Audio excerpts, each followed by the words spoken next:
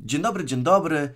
Chess Memories to mój nowy kanał e, szachowy. Zapraszam do subskrypcji. W komentarzu będzie link lub opisie. A tymczasem, moi drodzy, cieszymy się z ogromnego sukcesu polskiej reprezentacji na drużynowych mistrzostwach Europy. Polacy zaj zajmują trzecie miejsce. Fantastyczny sukces. Zostawiamy w polu m.in. Rosję, Azerbejdżan, Armenię, Holandię, Niemcy. To są bardzo silne zespoły. Gratulujemy Ukrainie, która w równym składzie pięknie wygrała zawody. Drugie miejsce zajęła e, reprezentacja Francji. E, moi drodzy widzowie, Polacy, no e, może nie mieli jakiegoś rewelacyjnego turnieju, ale końcówka jednak tutaj należała do nich. Partia e, szalonego Badury Jobawy z naszym Janem Krzysztofem Dudą.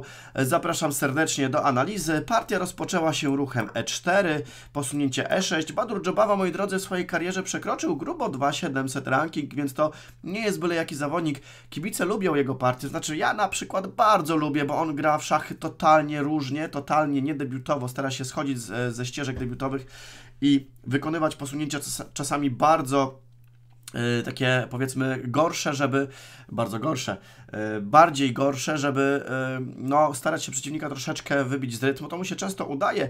No i przed Jankiem trudne zadanie, myślę. I tutaj po E4, E6, D4, D5 mamy obronę francuską. Janek wybiera ten debiut, no gra y, obronę francuską, to dało się zauważyć we wcześniejszych pojedynkach. Ja osobiście nie lubię czarnymi grać y, tego debiutu, no ale to jest, mówię, kwestia gustu szachowego. Skoczek na C3, goniec B4 i tutaj mi się od razu przypomina Michał Botwinik, jak namiętnie właśnie grał tę obronę francuską. I teraz y, częstym ruchem jest posunięcie E5, Badur Dżobowa zaskakuje. Zbija na D5. Poniekąd zrozumiała decyzja, gdyż ta pozycja jest według mnie totalnie równa i arcymistrz powinien sobie tutaj poradzić białymi z, no nie mówię, że uzyskać łatwo remis, bo to nie jest zawsze prosto, ale symetryczna pozycja daje ku temu powody. W tym momencie goniec zagrał na D3, skoczek na C6. Teoria oczywiście jest tutaj znana. Myślę, że czarne się cieszą z obrotu sprawy mimo wszystko. Skoczek zagrywa na F3 i goniec G4. Bardzo ładny ruch. Zobaczcie, jeden goniec związał skoczka, drugi goniec związał skoczka. To ładnie wygląda oczywiście, lecz to jest też normalne. Tutaj białe robią spokojnie krótką roszadę i teraz czarnymi zagrywamy bardzo ładny ruch, skoczek z G na E7. E, ten ruch przede wszystkim chroni króla przed szachem od wieży, to jest jedna rzecz, a dwa, że czarne wcale nie mają tutaj w planie, żeby zrobić krótką roszadę w ten sposób, tylko żeby zrobić za chwilę roszadę długą. E, no i też e, bronimy się od takiego związania goniec G5, bo zawsze mamy ruch F6. Tyle w temacie, w tym krótkim tutaj wstępie. Moi drodzy, teraz Badur Jobawa zagrywa posunięcie no takie powiem szczerze, mało chyba fajne, e, dlatego że jest to posunięcie skoczek E2. No widzimy, ten zawodnik jest zdolny do wszystkiego, jest to słabe posunięcie, moi drodzy. I ten zawodnik na pewno sobie z tego zdawał sprawę, jestem przekonany. No ale cóż, zagrał jak zagrał, teraz kwestia tylko jak to wykorzystać.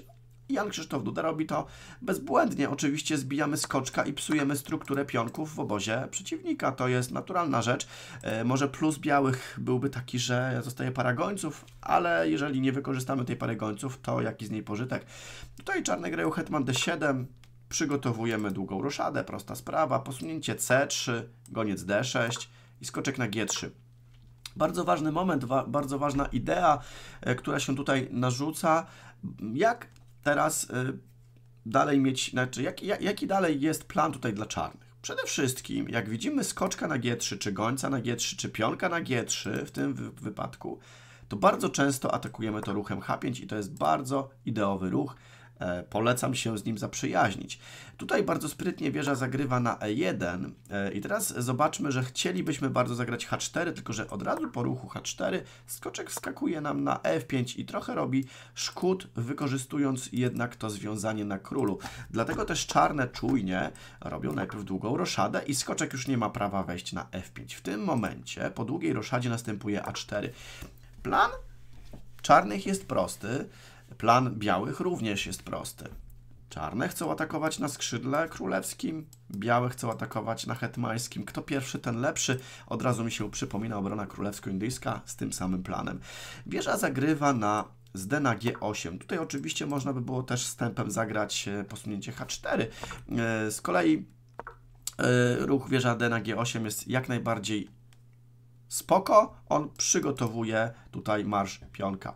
Posunięcie A5. Białe próbują tutaj gryźć troszeczkę przeciwnika. Jest H4, ruch wtrącony, skoczek F1 i Janek teraz zagrywa posunięcie hetman H3. Wygląda to bardzo dobrze. Yy, I to jest oczywiście dobre, ale pragnę na chwilę się zatrzymać i spróbować znaleźć takie posunięcie, które by troszeczkę ostudziło zapędy białych na, yy, w ataku na yy, skrzydle hetmańskim i jak to zrobić. Tutaj czarnymi moglibyśmy zagrać ruch A6 i to byłoby na pewno dobre zagranie, bo zobaczcie, że białe by jakby zagrały B4 z próbą zagrania B5, żeby nas tu atakować, no to byśmy zagrali skoczkiem A7. Teoretycznie nie lubimy na pewno cofać figur, ale w tym wypadku powiedzcie mi, jak białe mają się przebić tutaj przez ruch B5.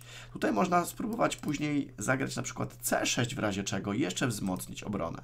W zasadzie ta struktura tutaj e, po, po, prawej stronie na hetmańskim skrzydle jest w porządku i tutaj na pewno ciężko by było białymi się przebijać i plan ataku na króla białego na pewno byłby dalej kontynuowany w sposób prosty.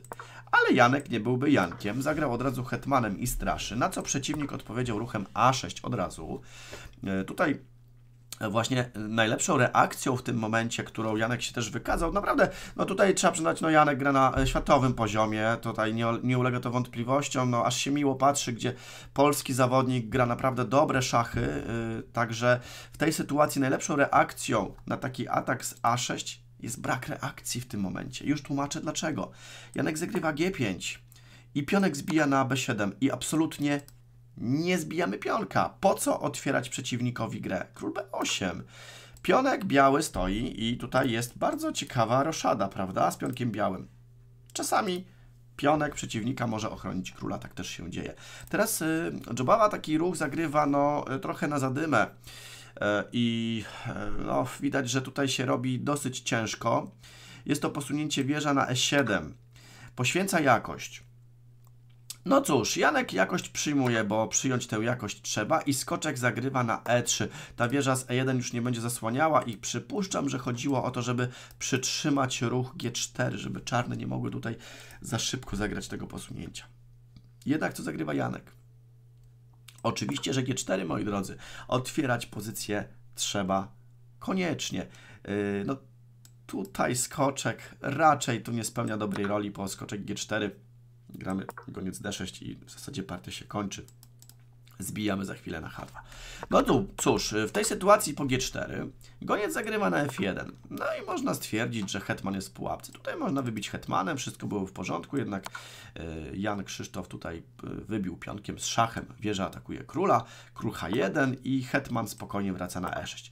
Pozycja czarnych jest zdecydowanie lepsza ze względu na materiał. Nie widać jakiejś super kontry ze strony przeciwnika, więc gramy dalej. Białe zbijają rzecz jasna pionka na F3, hetman G6 z prostą opcją mata. W tym momencie hetman na G2 próba wymiany hetmanów. Y, no w zasadzie wymiana hetmanów może nie byłaby taka zła, aczkolwiek jak, jak atakujemy przeciwnika i zostawimy sobie hetmana w ataku, no to może to być jednak skuteczniejsze. Hetman zagrywa na F6 i zobaczcie podstawka pionka, ale to jest świadoma decyzja. Skoczek zbija i hetman F5. Cały czas y, tutaj widzimy, że jest atak na hetmana, grozi ruch H3, w ogóle otwarta linia, król ma ogromne problemy. Skoczek wraca jednak na E3 z atakiem, nie wybija tu gońca. I teraz Janek przechodzi do forsownego tutaj e, układu sił. Mianowicie wieża zbija na G2, skoczek zbija na F5, wieża zbija na F2. Troszkę pionków tutaj jednak odzyskujemy czarnymi, można powiedzieć w ten sposób. Dalej atakując przeciwnika. Goniec zagrywa na D3, goniec na D6 i wymiana figur na D6 nastąpiła, posunięcie B4. Podsumowując tę końcówkę, no Cóż mogę stwierdzić? Pozycja jest wygrana dla czarnych. Tylko, że to nie jest jeszcze takie super oczywiste. Trzeba wykonać kilka subtelnych i dokładnych ruchów, żeby do tego doprowadzić. I ten ruch to po jakimś tam namyśle Jan zagrał H3. Słusznie. Bardzo dobry ruch z tego względu, że ten król y, tutaj no, jest y, nieco zapędzony w pułapkę i w każdym momencie może grozić jakiś tam mat na F1 ewentualnie. Posunięcie B5, na co skoczek, znowu skoczek wrócił tutaj na D8, lecz to jest jak najbardziej dobre. Posunięcie B6. Teraz jestem ciekawy, jaka byłaby e, Wasza reakcja, moi drodzy widzowie, jak się tutaj e, zachować czarnymi w tym wypadku, bo e, mamy jakość więcej, para gońców zawsze może być niebezpieczna, trzeba na to uważać. Jak zagrać? Otóż czarne zagrywają A5. Ten ruch mi się niezwykle podoba z tego względu, że czasami jak będzie bicie na A5, to my zbijamy skoczkiem stępem. To jest bardzo ważna informacja, aczkolwiek w tym wypadku jakby wieża zbiła na A5, to mamy jeszcze lepsze zagranie pod tytułem wieża E8. I tu partia się kończy już błyskawicznie, grozi wieża E1. Jak król zagra na G1, no to mamy wieża F3 i atakujemy gońca na D3 i grozimy wieża E1. Ta partia jest już totalnie przegrana, trzeba by było się poddać. No cóż, po ruchu A5 jednakże tutaj białe grają goniec A3. Arcymistrz szuka opcji, oczywiście musi wyprowadzić figurę. Na co Janek zbija skoczka, skoczkiem na B7 i zobaczcie, wszystko się trzyma, wszystko się ładnie trzyma. Wieża zagrywa na E1, wieża F3. No cóż, trzeba konsumować piony, no to trzeba. Goniec A6, wieża C3 i teraz wieża zagrywa na E7. Tutaj Gruzin nie ma nic do stracenia, no próbuje oczywiście ostatniej aktywności, ostatniej szarży tutaj swoją wieżą i gońcem, jak należy się zachować, bo y, oczywiście mata tutaj na C1 nie ma i no sporo osób pewnie by tutaj jeszcze mogło nieco spanikować, że tak się wyrażę, no bo y, tutaj nas przeciwnik zaczyna y, nieźle ustawiać tak naprawdę przy tych figurach. Na co Janek z zimną krwią zbija po prostu gońca na A3, co jest oczywiście dobre. Wieża zbija z szachem król A8, szach, król wraca, y, wieża B7, no ale nie możemy się pogodzić z remisem, absolutnie nie. Król C8 działa i tutaj, mimo że to jest młynek, taki dosyć niebezpieczny, no to nie ma za bardzo jak go wykorzystać, bo jak wieża ruszy na y, na przykład F7, król zagrywa na D8 i tu grozi cały czas mat, przypominam. Tu jest groźba mata. Wieża zagrała na A7 z szachem, król D8, no i doprowadzić tu pionka nie wolno. Tutaj jest e, cały czas mat. Również e, zagranie na A8 i zbicie wieży wiąże się zdaniem mata na końcu na F1. Także e, po król D8 goniec zagrał na F1. W tym wypadku wieża zagrała na E8. I po tym posunięciu król G1, wieża B3, jeszcze jest asekuracja w tym momencie. Wieża dała szacha, król E7. Moi drodzy, białe się poddały. Z prostego powodu nie ma za bardzo już e, takiej e, aktywnej gry ze strony białych. Tutaj jakby na przykład wieża zbiła teraz pionka, można by było spokojnie e, zbić. Tutaj pionka na B6, można by było też dać szacha na G8. Tutaj już tak naprawdę bez znaczenia co by się zadziało. Białe, czarne spokojnie w tej sytuacji dadzą radę.